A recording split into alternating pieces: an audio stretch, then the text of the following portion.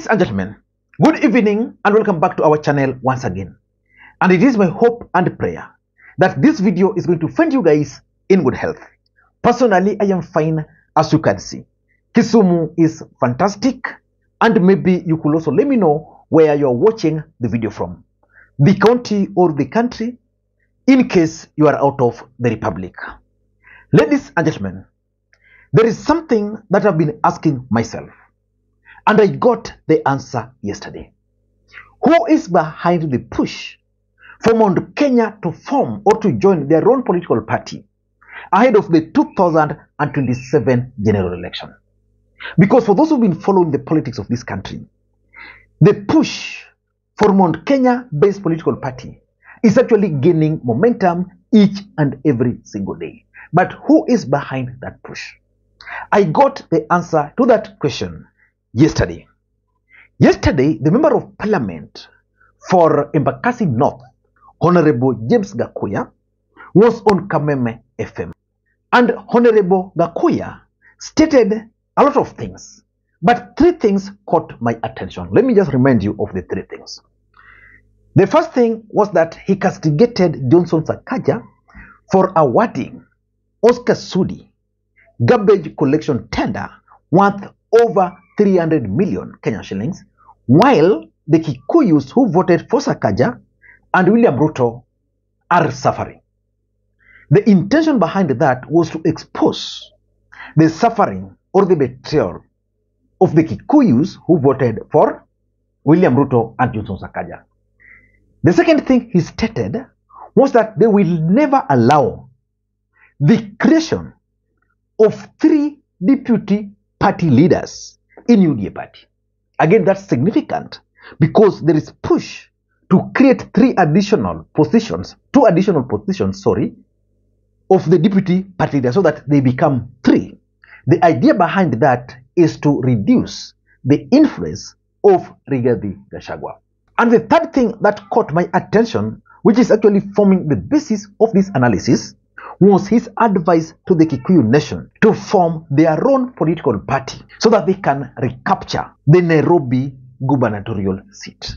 The truth of the matter is that the push to form another political party for Mount Kenya is not only for Nairobi, but probably for 2032. And the question is, who is behind that push?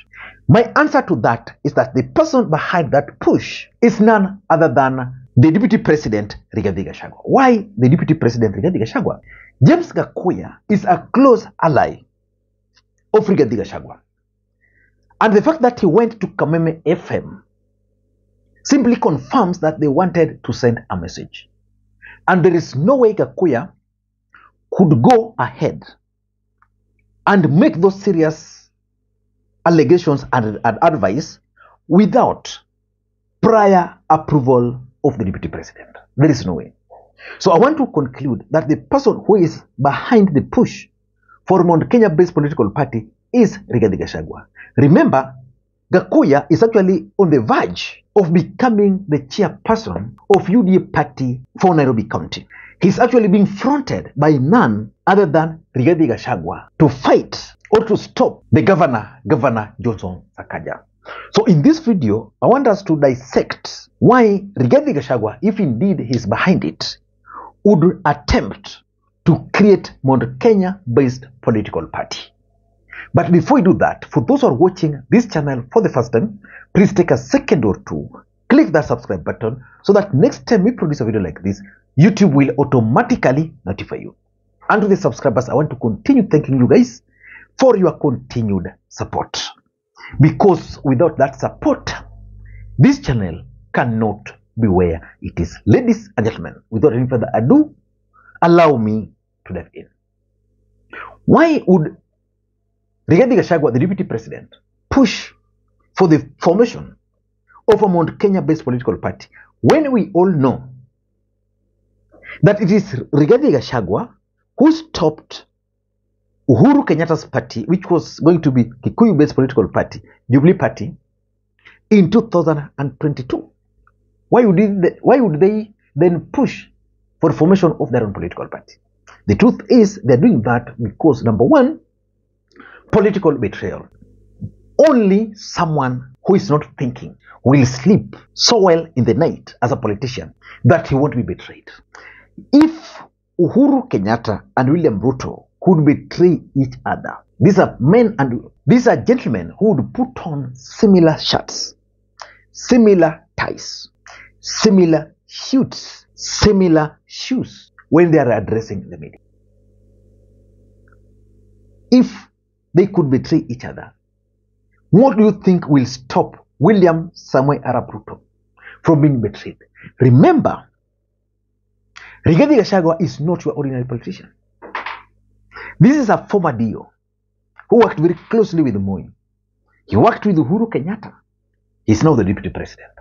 So you might have read the signs on the wall that there's likelihood of betrayal. So that's number one. Number two, there is also the fear of Musalia Mudavadi factor in Kenya Kwanza. That's why Gakuya, in his statement, was very clear that they will never allow the formation or the creation of two additional deputy party leaders. And indeed, when William Ruto appointed Cleophas Malala as the Secretary General of UDA party, there's something he wanted to achieve. And again, Rigathi Gachagua ally, the governor for Nyeri, Mutai Kahiga, was bold enough to relay Rigathi Gachagua's message. But I'm very, very uncomfortable with the people who never voted for Dr. William Ruto now coming and purporting to be people who should stand for, sta be telling, like for example, I have said it again and I'll repeat, I am very uncomfortable with the position of, of uh, secretary, um, I mean secretary general of the UDA party, going to one Mheshimiwa Cleo Ma Ma Malala. I want to be told what votes he is bringing to the table. Western, and this is a fact, belongs to two parties, Ford Kenya for Bungoma, and U, um, and, uh, and, uh, and ODM for the rest, Vihiga and Kakamega. The total combined was 600,000 votes. While we thank them for that number of votes, they were only pouring the 600 into 3 million that we gave, and 1.5 that came from Rift Valley. Even if mwalimu Number three is the value of Mount Kenya votes. you know, Mount Kenya delivered the presidency to William Ruto. I know you can argue that William Ruto became the president because of the votes from Sijui Papawa Roma, the Speaker of the National Assembly, Bungoma County. Bungoma gave William Ruto 200,000 votes. Bungoma. Okay? Mount Kenya gave William Ruto 3 point something million votes. In fact, the votes from Bungoma, only one constituency will cancel it from the mountain. And the way they've been mistreated, and it's, it's going to actually explode soon, the way they've been mistreated, there's a strong feeling that the vote from the mountain is being taken for granted. And that the real value of Mount Kenya votes is not counting. And they give the case of Moses Masika Wetangula and even Musalia Mudavadi that despite the two having some small parties with very few members of parliament, they were able to negotiate and they can point out what they got. So they want to ensure that in the next election, their vote will count. So that if they want Nairobi, instead of sponsoring someone, they'll be told, okay, Now, you guys appoint your man. This is the, the, the arrangement. We are going to have several of these kind of ministers as Mount Kenya because in the last election, William Ruto just wanted to win Nairobi for his politics. And I also think that he was not even sure that he would win Nairobi. Number three is the 2032 politics.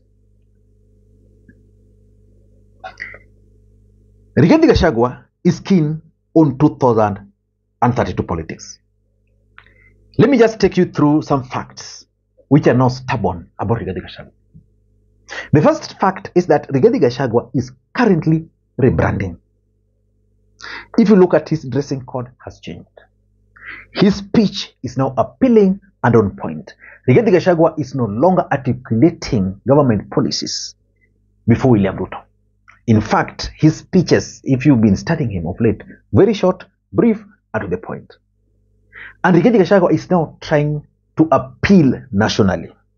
Unlike before, when Rigathi Gachagua was just appearing as the leader of the Kikuyu nation. So that's the first fact, which means Rigathi is keen on 2032. And of course, he knows that even if William Ruto were to pick him as the running mate in 2027, that is not guaranteed that in 2032 he will be endorsed. So he's rebranding. The second fact about Rigathi Gachagua, which you must also accept, is that Rigathi Gachagua is currently consolidating the mountain. Which begs the question, why is Rigathi Gachagua consolidating the mountain? Because if you ask me, the mountain is firmly behind UDA party. Why would it then attempt to consolidate Mount Kenya as Rigathi Gachagua? Because if there is one thing that William Ruto cannot allow, is for someone to emerge as the leader in Mount Kenya. That's why the encounter yesterday where Rigathi Gachagua was supposed to attend an event, then Ndindi Nyoro's allies went ahead of him. You know, you expect a deputy president to attend an event. You popularize the event. People are seated. You know, the deputy president is arriving at noon. You go there by 11. You address the people there. You sell the, the, the, the story about the opponent who is Ndindi Nyoro. Then when you hear he has boarded the plane, you take off. So it means he's consolidating the mountain, but someone somewhere is actually out to frustrate him. He's doing that because he knows that in case of a betrayal, he will go to the mountain as Rigathi Gachagua. Because William Ruto wants a, a situation where if you want to go to Mount Kenya, if he wants to go to the mountain, he doesn't need to go through Rigathi. He doesn't need to go through Moses Kuria. He doesn't need to go through any other person. He want to go to the mountain as William Ruto. And indeed, if you are to ask me, most of the people who are elected in the last election in the mountain was as a result of William Ruto's effort. So the fact that Rigathi Gachagua is not trying to consolidate the mountain under his grip means that he's planning something. The fourth fact that we can also not run away from is that there are some people in Kenya Kwanza or in UDA who are not comfortable with Rigathi Gachagua. And because of that, Rigathi Gachagua is planning to have this party just in case there's a problem with UDA party, just in case there's a problem in Kenya Kwanza, he will have a political party to use as a vehicle for 2032 politics. And lastly, political negotiations. You see, if Mount Kenya were to have their own political party, let's say Rigathi Gachagua with his party Sisi with 50 members of parliament, he can use that party to negotiate with anybody because they have the numbers. They can negotiate for Nairobi. They have the numbers. They can use that numbers to negotiate for political seats at the national level. And of course, with that party, they can even negotiate how to share. For example, Nairobi. Tuseme they agree with ODM that okay, ODM tutawachia hizi, hizi hivi. That's how politics is played. I don't know what you think. But unless something else happens, I'm 100% convinced that the person who is behind the push for Mount Kenya based political party is none other than Rigathi Gachagua. I don't know what to think. Let me hear your points. Let me hear your thoughts. Thank you, and you have a good day. Bye bye.